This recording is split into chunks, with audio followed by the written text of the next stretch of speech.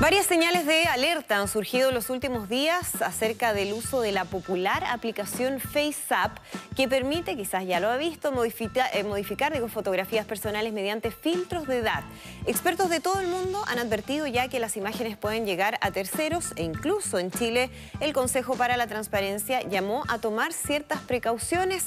Las imágenes deben considerarse, por ejemplo, como datos personales. Bueno, es un tema que queremos analizar con Vladimir Garay, director de incidencia de de la ONG Derechos Digitales. Vladimir, muchísimas gracias por acompañarnos. Muchas gracias por la invitación. Y lo primero es preguntarte si es tan peligroso como ahora se está advirtiendo, porque hemos visto ya eh, varias alertas de distintas partes del mundo. Veía, por ejemplo, desde Estados Unidos que estaban pidiendo al FBI investigar qué había detrás de esta aplicación, que estaban los rusos, en fin.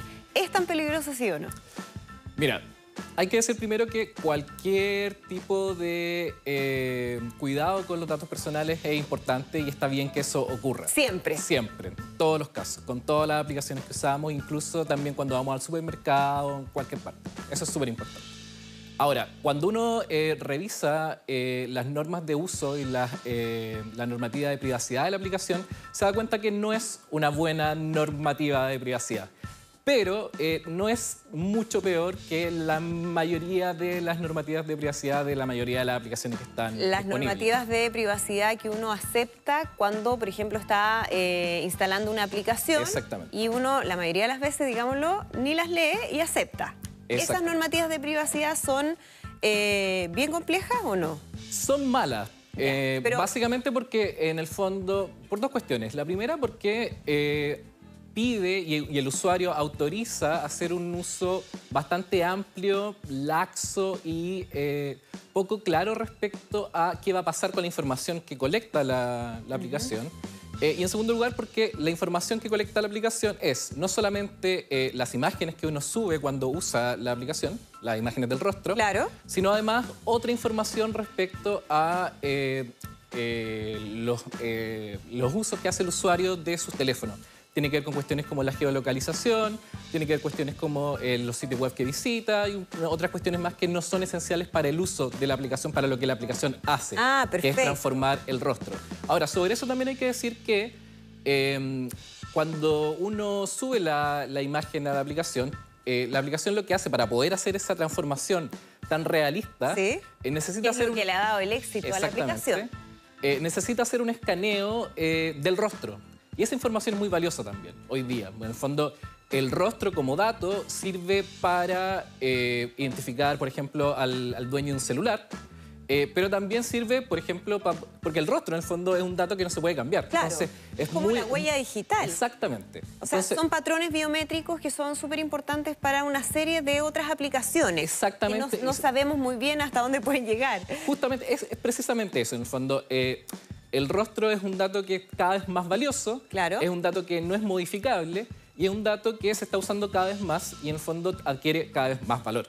Y el problema con la aplicación es que eh, las normas de uso que, tiene hacen muy difícil poder tener alguna idea clara respecto a qué pasa con esos datos hoy y qué va a pasar con esos datos mañana o en un año más. ¿A dónde van? ¿Para qué los van a usar? No es posible saber. Sabemos. No Ahora, eh, tal como las normas de uso eh, no son muy distintas a la de otras aplicaciones, uno también ve que hay otras aplicaciones y, otras herramientas donde a uno le escanean la cara, podríamos decir, ¿no? Por ejemplo, para eh, desbloquear el teléfono o un computador u otras aplicaciones que usan más o menos la misma lógica.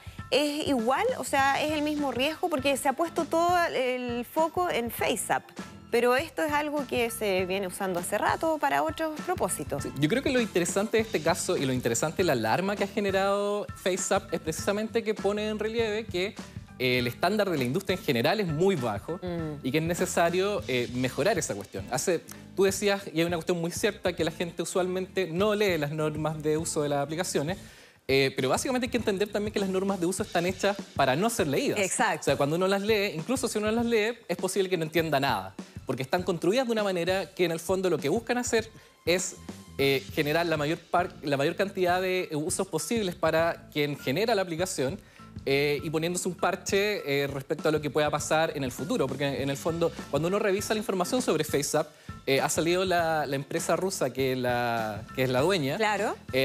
a, decir que en realidad ellos no están transmitiendo información a terceros, una serie de cuestiones. Pero al mismo tiempo, cuando uno llega al final de la, de la norma de privacidad, dice, bueno, estas normas pueden cambiar y es, es obligación del usuario estar atento y revisándolas constantemente eh, para ver si cambia. Ya, eso sí que es imposible, además. No es posible y además, en el fondo, creo que es un error eh, pensar que toda la responsabilidad tiene que eh, caer sobre los hombros de los usuarios. en ese sentido, me parece que los usuarios deberían tener cierto derecho a poder usar una aplicación que es simpática sin que eso signifique venderle el alma a, cualquier, a cualquier compañía después de uno no tiene ninguna posibilidad de saber qué va a pasar con esa información. Ahora, mira, hay quienes dicen... Eh, bueno, a estas alturas en realidad ya todos tienen todos nuestros datos, ya uno no tiene privacidad, la imagen de uno está en un montón de otros lados y es algo que ya uno no puede controlar. Es tan así eh, porque si uno ve FaceApp, eh, puede que yo no autorice el uso de mi imagen, pero lo utilicen con una fotografía o, de otra manera, ¿no? Sin ni siquiera la autorización propia. Sí, yo creo que es un error pensar que hoy, eh, porque tenemos todas estas aplicaciones y tenemos todos estos dispositivos, es que ya la privacidad no existe. Y es una cuestión que se ha repetido muchas veces, particularmente desde las compañías que en el fondo tienen estos modelos de negocio que están asociados a la explotación de los datos. Eso, o sea, ¿son esas las que instalan esa idea? Son las que se instalan esa idea y esa idea se repite. Eh, la privacidad es un, es un concepto que se construye históricamente. En el fondo lo que estamos viviendo es eh, un punto súper interesante donde eh, la privacidad empieza a, generar un, una, empieza, empezamos a trabajar sobre la privacidad en el, contexto cotidiano, o sea, todos los días en el fondo, porque tenemos un celular, porque vamos al supermercado y nos piden el root, etc. fondo, eh, la relación que tenemos con, con, la privacidad se vuelve una cuestión mucho más explícita y mucho más cotidiana.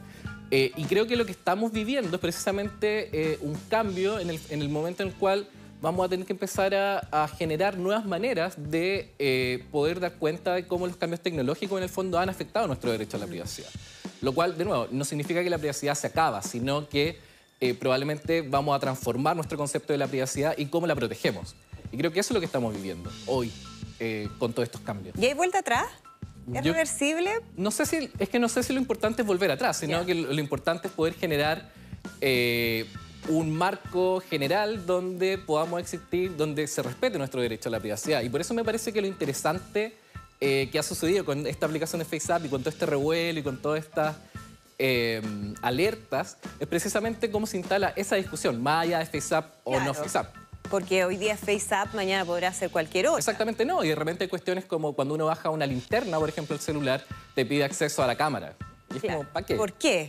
Ahí hay algo, ¿no? Sospechoso. Y, lo que hay ahí finalmente es precisamente este contexto eh, del modelo económico que tienen hoy día las aplicaciones, que es, por un lado, eh, o recolectar muchos datos personales que después puedan externalizar, o en el caso de las compañías más grandes, como Facebook, por ejemplo, eh, poder hacer ellos mismos el análisis sobre esos datos y, y no vender ese dato, sino... Por supuesto eh, vender como, de alguna manera el acceso a esa información procesada que ellos tienen. Y aquí hay un tema de normativas que debiera ir mejorándose, porque también se hacía la diferencia sobre lo que es la normativa, no sé, en Estados Unidos, en Rusia, en China.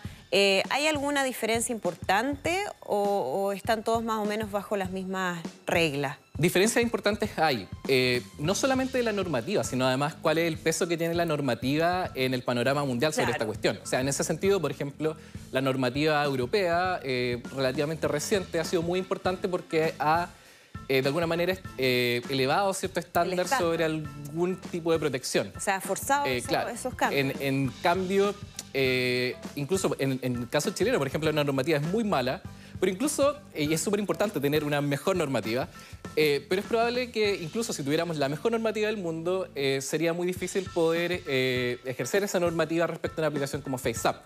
Entonces, en ese sentido, creo que las normativas son súper importantes y creo que es importante que todos los países en el fondo aumenten su protección de los datos personales, pero es una batalla que en el fondo se pelea desde distintos frentes, donde la normativa es una, eh, pero también, por ejemplo, la conciencia de los usuarios respecto a su propia privacidad y cómo protegerla también es importante. Que los usuarios exijan también eh, a las compañías que mejoren también sus estándares de protección. Entonces, En el fondo es un, esfuerzo que hay que hacer en conjunto desde múltiples frentes, eh, pero claramente la normativa es uno. De todas maneras. Bueno, Vladimir, muchísimas gracias por acompañarnos y ayudarnos ahí a entender lo que está pasando con esta y otras aplicaciones y, en fin, todos los cambios que se están dando a nivel tecnológico. Ah, muchísimas gracias. No, muchas gracias por la invitación. Nosotros